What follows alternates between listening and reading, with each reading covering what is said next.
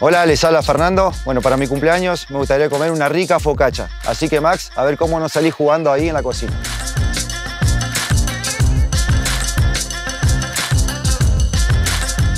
Hornear una focacha es una excelente idea para compartir con tus seres queridos. Partimos activando la levadura en agua. Vamos a usar azúcar rubia. Esto va a mejorar la coloración de la focacha. Ahí va. Necesito que me ayudes con el agua y la levadura activada a ponerla de a poquitito en la harina. Vamos, esto va ahí despacito.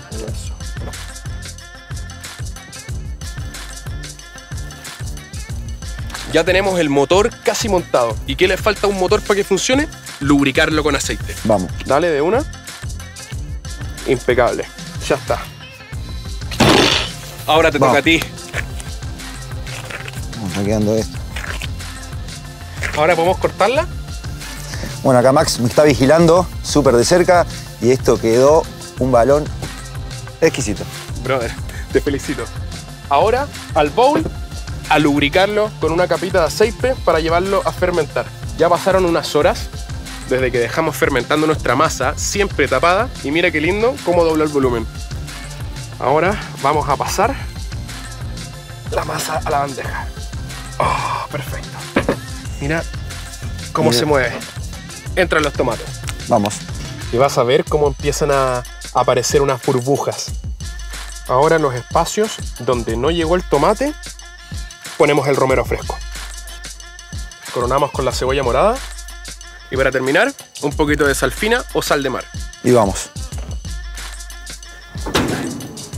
Focaccia dentro del ProCook 500, 20 minutos a máxima temperatura y ya está. Hacemos una salsa pomodoro en 20 minutos, Arranquemos. todo adentro. Combinado con sal. Prende, modo porotos y a esperar.